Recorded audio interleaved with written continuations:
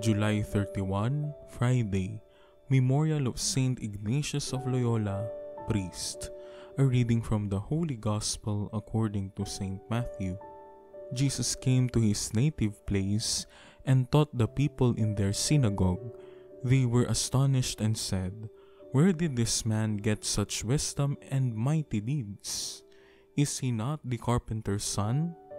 Is not his mother named Mary? and his brothers James, Joseph, Simon, and Judas? Are not his sisters all with us? Where did this man get all this? And they took offense at him. But Jesus said to them, A prophet is not without honor except in his native place and in his own house. And he did not work many mighty deeds there because of their lack of faith. The Gospel of the Lord. They took offense at him.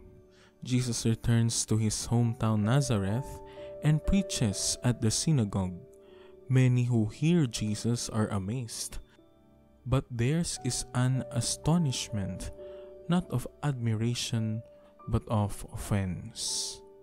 They question his family background, they doubt his teachings, they reflect an attitude frequently hidden in man towards his fellow man, an attitude of discrimination, indifference, and misconception.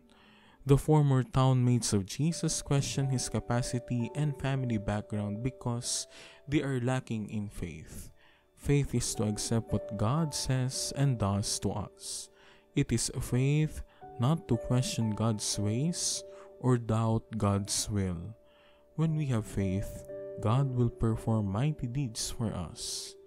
There will be healing miracles. Against whom have I discriminated? How can I overcome my prejudices?